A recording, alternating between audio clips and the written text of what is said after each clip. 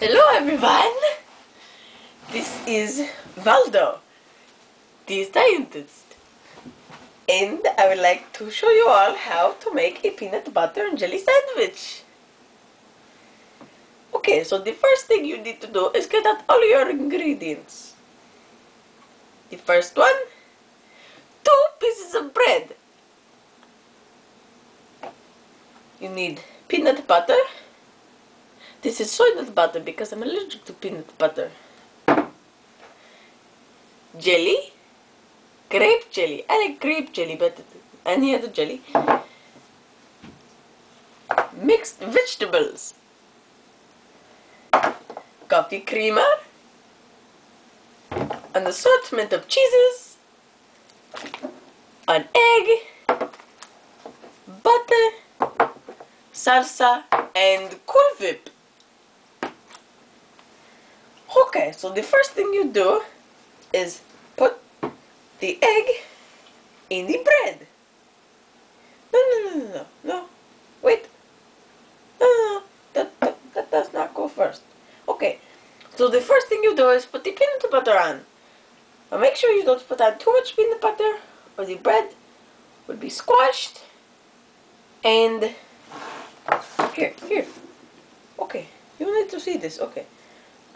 Make sure that there's not too much peanut butter so that you can not squish the bread and so that it will not stick to the top of your mouth. And put the jelly on top of that and then the assorted the vegetables.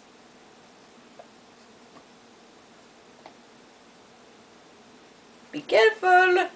Then put the egg on the top. Okay, now you put the piece of bread on the top of it. And there is your peanut butter jelly sandwich. Then you then you put the cheeses the bottom side of the bread, the coffee creamer in front of it, the butter and the back, the salsa.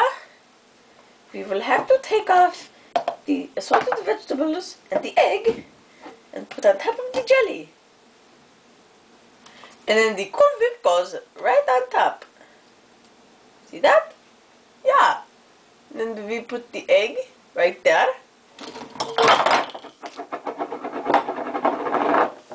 Well, I think I ruined the sandwich. No, it still tastes good.